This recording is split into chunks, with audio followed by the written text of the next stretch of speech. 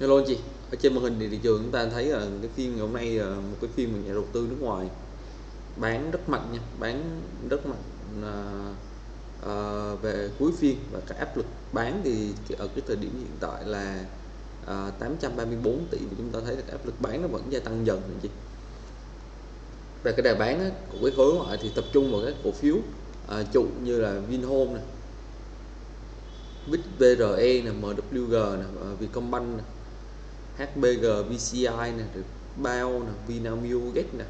Đó thì anh chị thấy là cái cái cái đà bán mà nó liên tục gia tăng vào cái thời điểm là ở cuối phiên chiều cho chúng ta thấy được là cái, cái áp lực của khối ngoại hiện tại nó làm cho thị trường chúng ta cũng khó mà tăng điểm được. Đấy. Cho dù là cái cái cái gọi là về cái mặt gọi là thị trường chung thì chúng ta thấy là các cái thông tin hoặc là ờ, về cái đô la index hay mọi thứ nó đều không có vấn đề gì cả đó, nhưng mà cái áp lực bán của khối ngoại giai, giai đoạn hiện tại nó đang khá lớn và nó tạo ra một cái cung ở rất mạnh trên thị trường. Thì như là à, trước đó thường hay chia sẻ với anh chị về thị trường chứng khoán à, về mặt ngắn hạn thì nó là áp lực cung cầu. Đó thì khi một cái thứ gì đó mà nó bị bán rất nhiều thì hiển nhiên thì cái giá nó sẽ giảm. Và khi đó thì nó à, lại trở lại là sẽ có những cái nhóm người ta sẽ gọi là mua ở dưới cái vùng dưới. Đó cho nên là cái này thì chúng ta cũng không biết được là đây là gọi là à, nhóm gọi là các cái gọi là nhà đầu tư nước ngoài hoặc là nhóm nhà đầu tư nước ngoài họ đang uh, cố gắng ép chỉ số để mà gom được những cái vùng giá mua tốt hay không. Nhưng mà chúng ta có thể nhìn thấy ở đây là nếu mà xét về một cái mặt nào đó thì cái đô la index nó đang giảm là nó là một cái xu hướng tốt. Tuy nhiên là à, rất sợ là những cái giai đoạn giống như giai đoạn này. Đó thì là cái giai đoạn như năm của cái giai đoạn năm ngoái là khi á, mà thị trường chứng khoán của chúng ta nó cũng ở trong một cái giai đoạn là đô la index à, giảm. Nhưng mà thị trường chứng khoán nó à, không có tăng nhanh đâu anh chị. Tức là nó sẽ mất một cái giai đoạn nó lên sình. Là cái giai đoạn đó của thị trường thì à, nếu mà anh chị nhớ cái giai đoạn mà Tết năm ngoái thì anh chị sẽ thấy thị trường chúng ta nó rớt xuống rồi xong nó hồi lên. Xong đó nó rớt tiếp xong nó hồi lên trước Tết nè xong rồi giảm sau Tết nè. Đó mà lên sình thì qua tháng 3 tháng 4 sang năm coi tháng 3 tháng 4 thì nó mới bắt đầu là nó vào cái con sóng. Đó sóng thì nó bắt đầu vào tháng tháng tháng 5 tháng 6 này đấy thì rất dễ là thị trường chúng ta giai đoạn này à, với cái áp lực bán rất là mạnh của khối ngoại. Có thể là chúng ta cũng không biết được là cái câu chuyện là họ đang gom hàng hay là như thế nào nhưng mà cái áp lực bán hiện tại là đang rất là mạnh nha chị. Và với cái áp lực bán như vậy thì nó cũng đang gây ra những cái gọi là à, đà giảm cho thị trường. Đó. Đó.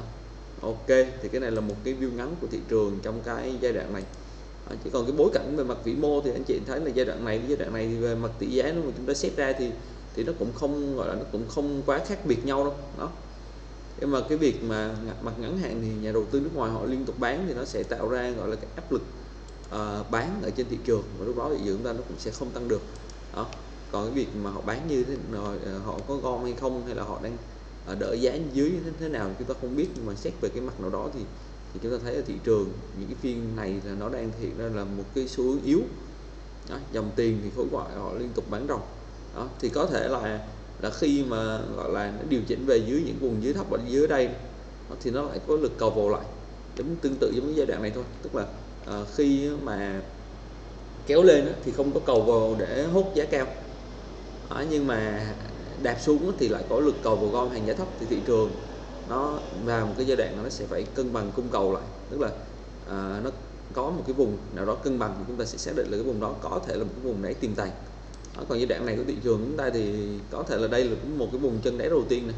Nhưng mà cái chân đáy thứ hai ở đâu thì chúng ta cũng chưa biết không biết là cái này hay là hay là hay là nó sẽ tạo thêm một cái gọi là nó hồi lên xong nó tạo tiếp một cái đáy ở phía dưới chúng ta phải quan sát.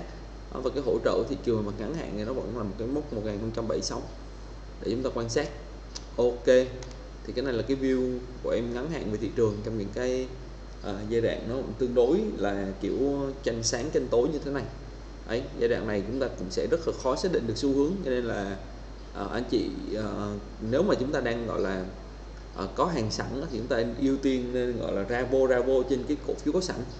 Đó cổ phiếu chúng ta mạnh thì chúng ta vào chúng ta kiếm ít xong chúng ta đi ra. Còn à, à, cổ phiếu mà chúng ta yếu chúng ta ngưng lại. Đó chứ còn cái việc mà chúng ta đảo danh mục mua mới cổ phiếu liên tục thì chưa chắc đó là một cái giải pháp tốt đâu. Tại vì là à, nếu mà thị trường mà nó chỉnh thì đa số nó sẽ chỉnh hết. Đó còn mà nó tăng được thì nó sẽ tăng hết. Cho nên là tại sao chúng ta không tập trung vào cái danh mục chúng ta đang có hiện tại tăng giảm cái danh mục đó để mà chúng ta có cái vị thế tốt nhất. Và chúng ta nếu mà chúng ta ăn thì chúng ta ăn được cái số lượng nó nhiều nhất. Ok cảm ơn anh chị nhé chúc anh chị một cái à, buổi chiều vui. À, chúc anh chị à, có những cái định hướng. À, rất là mong là cái các góc nhìn của em cũng cho anh chị những cái định hướng để mà giao dịch à, cho cái danh mục của mình trong thời gian sắp tới. Bao anh chị.